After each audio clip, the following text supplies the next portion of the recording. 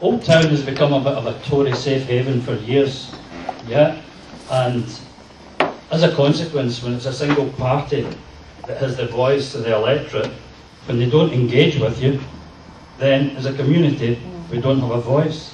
So my opinion is that one single party getting all the seats in the ward is bad for democracy. Okay, yeah, we but, best keep this but, questions rather That, that, was, that was a context. And so the question is, to these to the new candidates that are moving to the safe haven seat. So it's the Councillor Blue and Mr Mallinson, a question each, which I'm sure they can answer in 30 seconds. One is,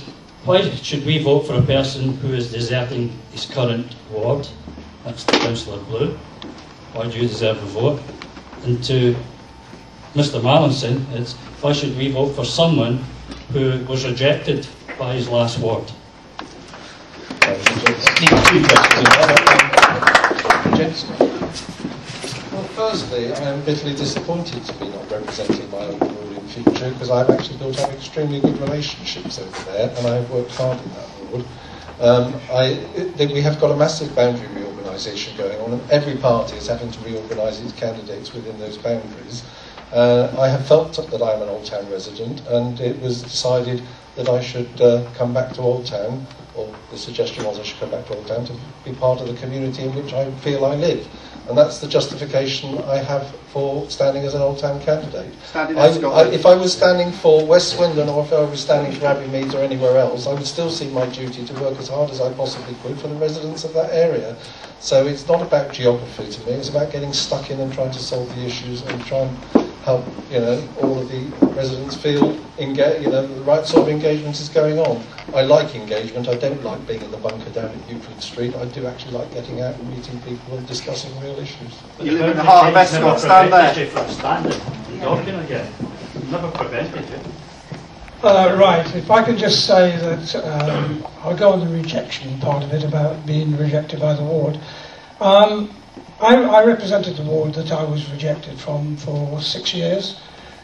Uh, prior to that, I was with another ward for two years, and prior to that, I lived in Malmesbury and represented Malmesbury Borough for four years. I've had about 12 years. Now, when you go into local politics, nothing is safe. You're not, you're not safe at all for anything.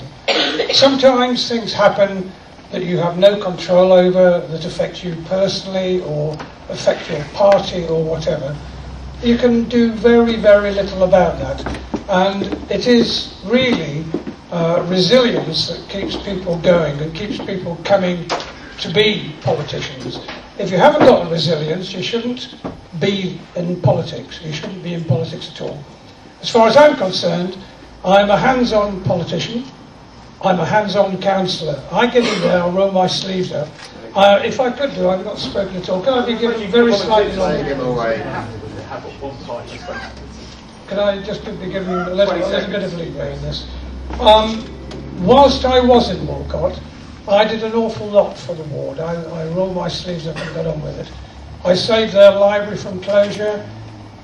I ran their, their charity shop. In fact, I still do run their charity shop, which is an award-winning charity shop. We won an award.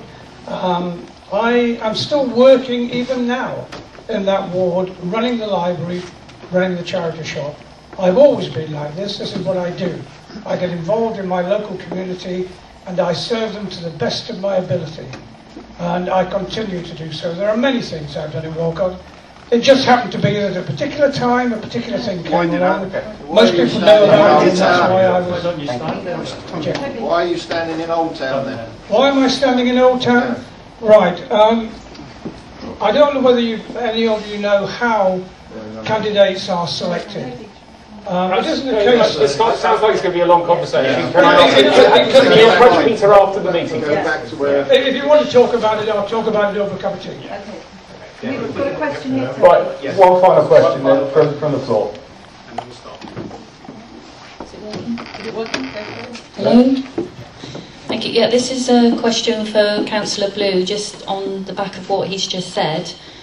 uh, in that he wants to represent where he lives. So why isn't he standing in Ascot instead of Old Town?